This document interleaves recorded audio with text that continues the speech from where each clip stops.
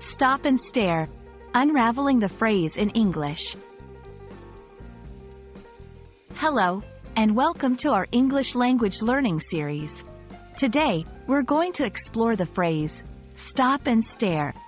It's a common expression in English, used in various contexts.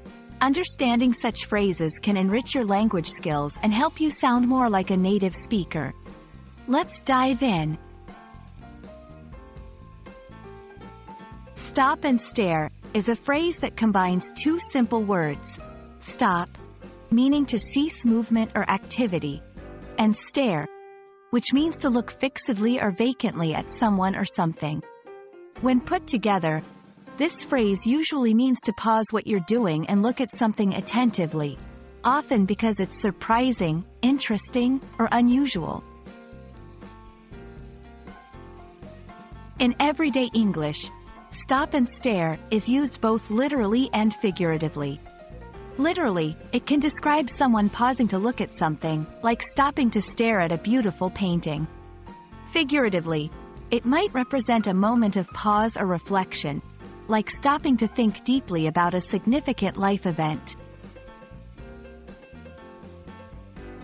To help you understand better, here are some examples. I had to stop and stare when I saw the mural. It was breathtaking. The news was so shocking that everyone just stopped and stared at the TV. Sometimes, you need to stop and stare at your surroundings to truly appreciate them. One common mistake is using the phrase inappropriately in formal contexts. While stop and stare is great for casual conversation or creative writing, it might be too informal for academic or professional settings. There are similar expressions in English that convey the same idea. For instance, take a gander, another informal way to say take a look. Gawk implies staring openly, sometimes rudely, in surprise or admiration.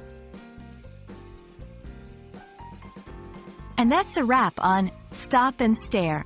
We hope this video helps you understand and use this phrase confidently in your English conversations.